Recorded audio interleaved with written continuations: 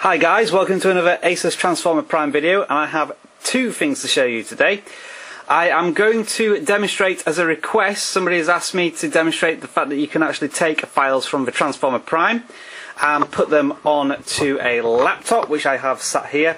And I'm going to demonstrate using uh, Polaris Office. So the documents that are saved there hopefully I'm going to take them from here put them onto the laptop and prove that they do work on Microsoft Office. As a bonus um, I showed you a brief glimpse at OnLive desktop yesterday which essentially gives you Microsoft Office on your laptop. What I um, didn't realize at the time was how um, could you get the files that you save on the cloud-based system actually off that system. I thought you might have to pay for that. The good news is you don't have to pay for it and I'm going to show you how to do that today. So let's get straight into it. If we go to the uh, Prime first and I'll just show you when I zoom in. I'm going to use applications that come with the Asus Transformer. Uh, so nothing here has been downloaded or cost anything. Uh, I have three documents here, uh, which you can see there, which I made through Polaris. Um, so if we go, for example, to the PowerPoint one, and then also the actual Word documents, and then the Excel documents. So I have three files here that you can see that I've now created on my tablet, and what I'm going to do with them now is transfer, transfer them over from the tablet to the laptop using a USB stick. So we'll just pop that in there and let the Prime do its business. So it's preparing external storage and I think that's ready now. So I am going to take the documents from here, copy them and then we'll move on to the storage device itself. I've already created a folder here so we'll just paste them in there so they've quickly gone in and now that's absolutely fine. They should be on the pen drive. So this is where we say goodbye to the tablet for the time being.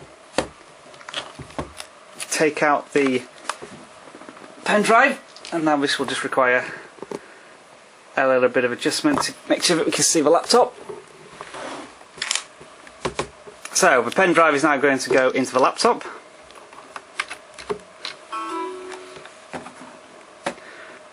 And so, I'll just zoom in here.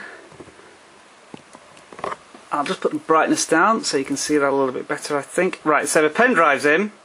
We open up the Prime folder and I'll just try and zoom as far in as I can you can see but it's recognizing those three files as office files. So if we open up that this is a test document so it transferred over fine. We open up the Excel document. It's transferred over fine. And if we open up the PowerPoint they've all transferred over absolutely fine. One thing to stress is that it's saving files uh, as uh, 1997 to 2003 Office documents, so it's not DocX, it's actually uh, doc files, and the same for PowerPoint and the same for Excel. I can't remember what the file types are for those two, but they are different. Uh, so just bear in mind that you of course, uh, Microsoft Office 10 is backwards compatible, so it's absolutely fine. But if you do save the files on Microsoft Office 2010 and then try and bring them back to Polaris Office, you might have some troubles there. So do um, bear that in mind, and maybe if you're going to save the files and you know you're going to use them on a tablet, make sure you put them into a compatibility mode for the older Office versions. Okay, on to the second tip. This is OnLive desktop on my Transformer Prime. Let me just show you that it is a Transformer Prime that we are using there. And what I'm going to do now is show you how to get files off of the cloud onto your computer if you wanted to work on them later. If you click on the Documents section, you'll see here that I have uh, a few files there, which I've saved on the cloud.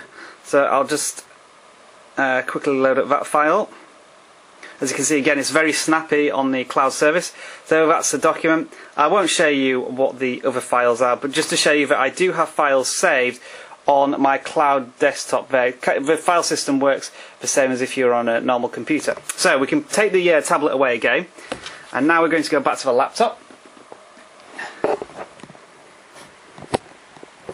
And the URL you want to point your browser to, and this won't come up very well on the screen, so I'll uh, put in a subtitle as well. It is simply files.onlive.com, and that will take you to your OnLive uh, login. So you just log in, and once you've logged in, you will see here that this login is now pointing towards the files that I've saved on the computer on the um, OnLive desktop. So let's just take uh, this document here. And as you can see, well you didn't see that, but it has downloaded it. Did download it there. I'll just download the other ones as well. Hopefully that should come up on screen. So there we are. That one downloaded fine. And that one downloaded fine. So let's open them up. Unfortunately on this computer I only have the starter pack so this might take a while to load up. But um, while it does load up, that's fairly quick. So there, quickly, test Excel document was fine. And then just opening up the Word document. So there we are, clear demonstration that even if you do use things on the uh, cloud, free application that's available from online desk, OnLive desktop, you can actually get them off that cloud environment and put them onto a computer. So again, the application shows that it is a pretty a remarkable set of uh, features you're getting for an absolutely free um, piece of application. So I hope you enjoyed that double um, tip video. If you do have any more requests, uh, please do send them in. Thanks for watching everyone and I'll see you again in another video soon.